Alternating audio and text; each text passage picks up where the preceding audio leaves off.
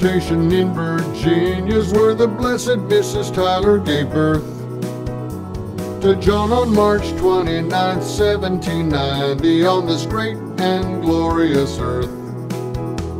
Sickly John was tutored till at 12 he entered William and Mary in VA.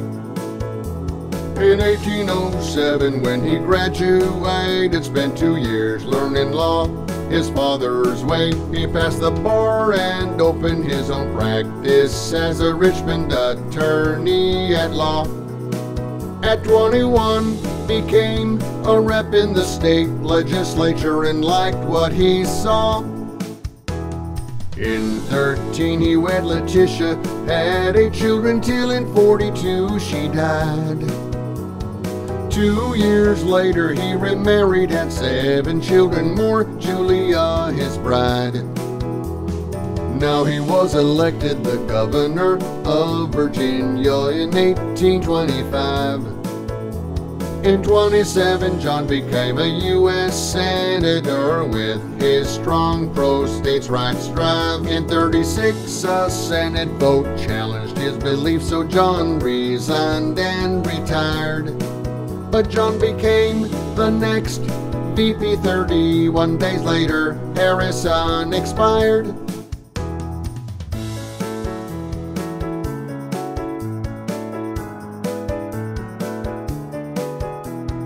Had himself sworn in as president, but some thought that was a little too bold. Then he made his Whig party mad who tried impeaching him and left him to the cold. For John's entire term, the Congress blocked him specifically Clay, whose power had amassed. Though he helped bring Texas and Florida to the Union, much of what he wanted wouldn't pass. He tried in 44 to run again for pres, but couldn't get the vote, so went on his way.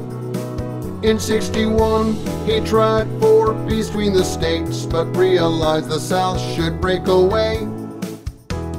John became a Confederate rep, but before the first session took place, on January 18, 1862, sadly a stroke stopped John's heart's pace.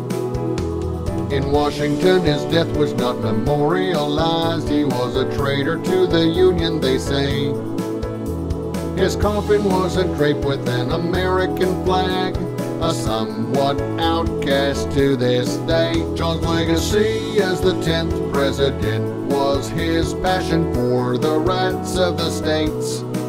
He was against any compromise, persistent never to deviate.